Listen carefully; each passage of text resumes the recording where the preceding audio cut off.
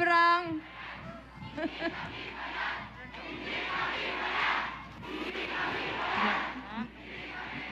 Maraming salamat. Pero alam mo, Chris, tama, hindi tayo bayad. Abonado pa. Pero alam natin na dahil na yan sa nasa itaas. Kaya maraming maraming salamat po sa inyong lahat. Maraming salamat din po, Angel Luxin. Palakpakan po natin. Jel, bumalik ka dito kasi ay, ewan ko sa babaeng yan. Sinabi ko talaga, Jel, may picture tayong tatlo dapat together dahil ito na lang yung chance. O, pagpatuloy mo po, VP. VP, balikan natin lang ang nakaraan. Nung nag gumawa tayo ng ating interview at in-air natin yung commercial at nag-online, ilang percent ka nung panahon na yon? 3%. Okay, tapos anong number ka doon sa mga... Pang-anim ako sa anim na kandidato at that time.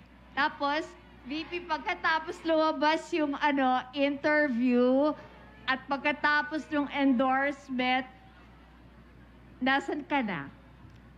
Mabilis na nung ating pag-akyat. Ah, from number 6, mabilis tayong umakyat sa number 4, umakyat tayo sa number 3, umakyat tayo sa number 2, election day, number 1 na tayo. At tinulungan nyo po kami dito sa Tarlac. Panalo ako dito sa Tarlac. Bago ko magpaalam, alam ko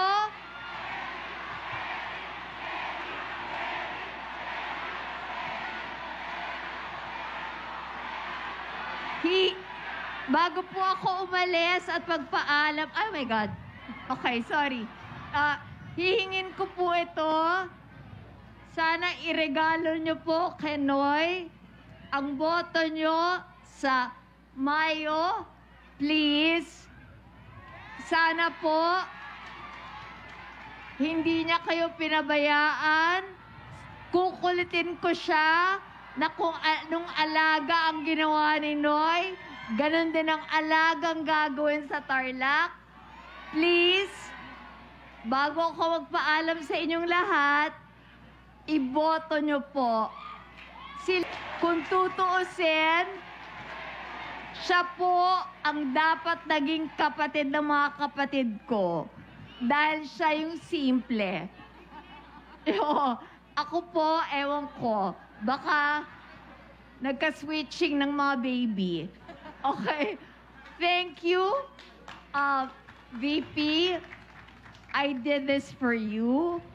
I did this for my dad, my mom, for Noy. But most of all, I did it for the future of Kuya Josh and Bim. Kasi gusto ko na ang Pilipinas nasa mabuting kamay. I think lahat naman tayo kung magulang ka, handa kang gawin ang lahat, masigurado mo lang na okay ang ang Yes! No eh. Alam nyo, gusto nyo gumanda ang buhay ng mga anak ninyo. Ayaw nyong pagdaanan nila yung hirap na pinagdaanan ngayon na, na may pandemya. I love her because on her own initiative, siya mismo ang nag-vaccine sa napakarami. May ask ilan? Hindi ko, Chris, alam. Pero dito sa Tarlac, nagkaroon po kami dito ng Vaccine Express sa Kapas. Ayon. Nag-vaccinate tayo ng mga AITAS sa Kapas. Kaya si may Ay, mga taga-Kapas dito, Oh, nag-vaccinate tayo sa kanila. Yun eh. Kasi 'di ba,